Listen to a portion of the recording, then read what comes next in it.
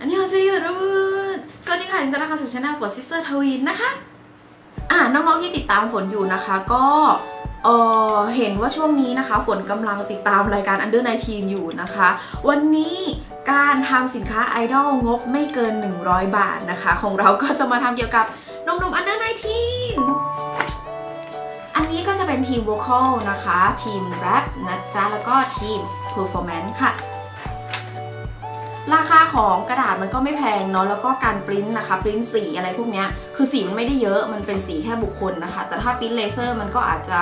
ออแพงกว่านี้หน่อยนะคะฝนปริ้นมาเนี่ยคือความจริงฝนปริ้นก็ฟรีแหละแต่ถ้าไปปริ้นข้างนอกจริงๆเนี่ยแผ่นหนึ่งอะไม่น่าจะเกิน 7-10 บาทนะคะ แค่ 3 แผ่นเองอะเออสามารถทำให้น้องเอามาทำสินค้าที่บอกได้เลยว่าน้องไม่ต้องหาซื้อที่ไหนนะคะ น้องสามารถทำเองได้นะจ๊ะด้วยงบที่ไม่เกิน 100 บาทเท่านั้นเอง รวมไปถึง อบอันนี้ฝนใช้ไปหน่อยหนึ่งแล้วเห็นปะแผ่นเคลือบอันนี้นะคะ ฝนใช้เป็นกระดาษออไซส์ A A3 นะคะแต่คือเราก็มี A4 แหละ แต่ว่ามันหมดนะคะแผ่นเคลือบเนี่ยก็ราคาไม่แพงเหมือนกันนะ ลองไปหาซื้อดูตามร้านเครื่องเขียนนะคะ ไม่แพงเลยแล้วบอกได้เลยว่างบที่คุณจะทำจริง ๆ มีแค่นี้จริง ๆนะคะ อุปกรณ์อย่างต่อไปกรรไกรค่ะ จะเออน้องๆจะต้องมีกรรไกรนะคะ แล้วก็หรือว่าจะเป็นคัตเตอร์ก็ได้นะคะรวมไปถึงไม้บรรทัดเอาไว้ใช้รวมคัตเตอร์นะจ๊ะโอเค เดี๋ยวเรามาดูขั้นตอนการทำกันเลยดีกว่าค่ะ ขั้นตอนแรกนะคะ ให้นำกระดาษที่เราปริ้นรูปภาพไอดอลที่เราต้องการมานะคะ แล้วก็มาตัดขอบนะคะ ให้พอดีนะคะ ให้ตัดทีละรูปทีละรูปนะคะ ถ้าเราเคลือบไปทั้งแผ่นเนี่ย การตัดกระดาษ A4 ออกมา มันจะทำให้ออกมาไม่สวยนะคะ แล้วกระดาษเนี่ยอาจจะไม่ติดแผ่นเคลือบด้วยก็ได้ ฝนใช้วิธีการเอาคัตเตอร์กรีด แล้วเอาไม้บรรทัดวัดนะคะ เพื่อที่ให้กระดาษมันตรงนั่นเองค่ะ กระดาษที่ฝนใช้นะคะ เป็นกระดาษ A4 ธรรมดาเลยนะคะ ที่ปริ้นด้วยหมึกเลเซอร์ปกติเลยนะคะ ก็สีอาจจะดูไม่คมชัดเท่าไหร่นะคะ เพราะว่าไม่ได้ปริ้นเลเซอร์หมึกกันน้ำนะคะ เพราะว่ายังไงเราก็ต้องเอามาเคลือบอยู่ดี ตัดให้เป็นชิ้นๆแบบนี้นะคะ ให้ครบทุกแผ่นทุกคนเลยค่ะ จากนั้นนะคะให้นำแผ่นที่เราตัดออกมาทีละชิ้นเนี่ยเอามาทาบไว้บนแผ่นเคลือบค่ะ แล้วก็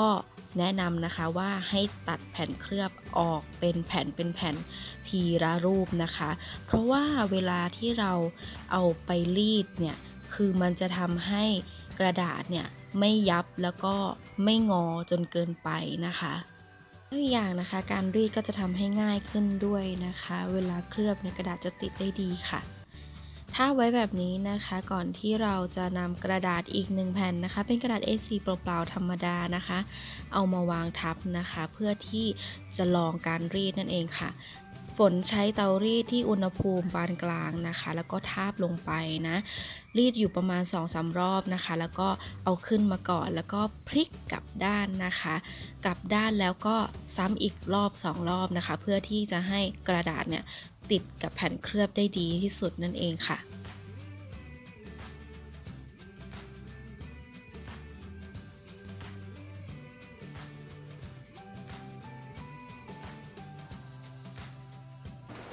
และนี่นะคะก็คือหนุ่มๆที่เราสตาฟเก็บไว้เมื่อกี้นั่นเองนะคะ ก็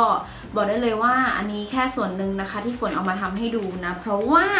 การที่น้องหลายๆ คนเนี่ยคืออยากจะมีรูปไอดอลรูปศิลปิน หรือว่าอยากจะเป็นโปสเตอร์แบบนี้อะไรอย่างเงี้ยคือ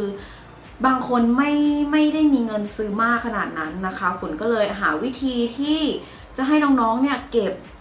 รูปไอดอลแล้วก็บอกได้เลยว่าไม่ใช่แค่กระดาษ A4 ใบเดียวนะคะ การเก็บได้นานที่สุดนั่นก็คือ เคลือบพวกเขาไว้ในบัตรแบบนี้นั่นเองค่ะ และน้องๆจะมีศิลปินและไอดอลที่น้องๆชื่นชอบติดไว้เต็มห้องไปหมดเลยนะคะสำหรับการ์ดอันนี้เนี่ยสำหรับบัตรตัวนี้นะคะฝนก็จะเอาน้องๆนะคะ ทุกคนที่ฝนเคลือบไว้นะคะ เอาไปติดฝาบ้านนั่นเอง พูดถึงเรื่องของ Under 19นะคะ อันดับของน้องมินก็ตกลงเรื่อยๆเนาะเราก็เป็นกำลังใจให้น้องนะคะ แล้วก็ช่วงนี้อย่าเพิ่งเบื่อกันนะ เพราะว่ากำลังออดูรายการของน้องๆอยู่นะคะ ก็รู้สึกว่าตัวเองเนี่ยลุ้นมากๆเลยนะคะ กับน้องๆคืออยากจะให้น้องๆเนี่ยได้